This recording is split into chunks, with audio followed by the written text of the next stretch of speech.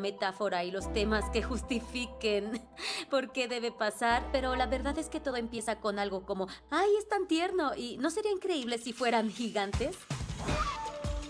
¡Ay, qué emoción! ¿Cómo dices que se llama? Tenzin. Y creo que la hembra es un poco mayor. Sí. No sabía que serían tan pequeños. Los pandas en la vida real son tiernísimos.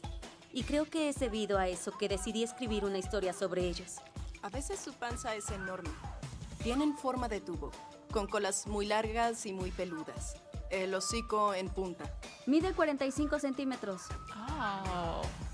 Se portan un poco como gatos, un poco como mapaches, un poco como osos, tal vez con una pizca de mono a veces.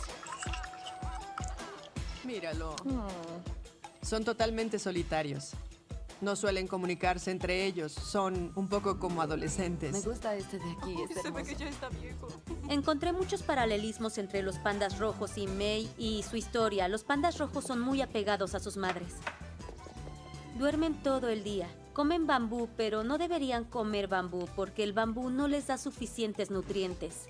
Los imagino como adolescentes holgazanes que solo comen papas y duermen todo el día.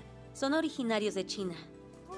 Pero además son color rojo con blanco. Son de China, pero con los colores de la bandera canadiense. Por eso, me pareció el animal perfecto para contar esta historia sobre un adolescente chino-canadiense. Soy Meilin Lee y desde que cumplí los 13 años vivo como se me antoja. Pienso por mí misma cada minuto de cada día del año. Red eh, se trata sobre